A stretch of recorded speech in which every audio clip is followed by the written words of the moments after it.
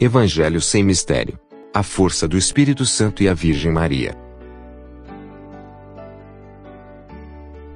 O Espírito Santo descerá sobre ti, e a força do Altíssimo te envolverá com a sua sombra. Por isso, ente santo que nascer de ti será chamado Filho de Deus. São Lucas 1, 35.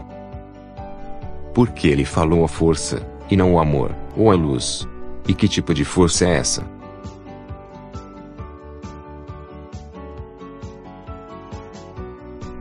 É a mesma força que ele criou o céu e a terra. Que criou todas as coisas a partir do nada. Que criou a vida onde não havia nada. É a fonte de toda a vida.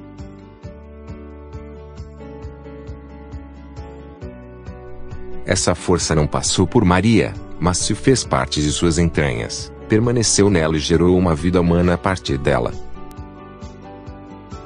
Adão foi criado do pó da terra. Jesus foi criado da carne de Maria.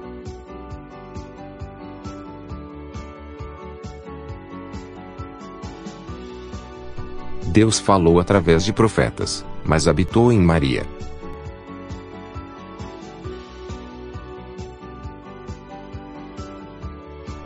Maria não foi achada ao acaso, ela foi escolhida por Deus, que se agradou ao vê-la.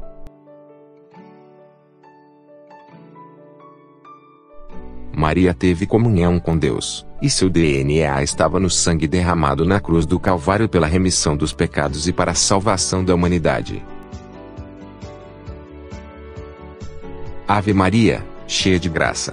O Senhor é convosco, bendita sois vós entre as mulheres, e bendito é o fruto do vosso ventre, Jesus. Santa Maria, Mãe de Deus, rogai por nós, pecadores, agora e na hora de nossa morte. Amém.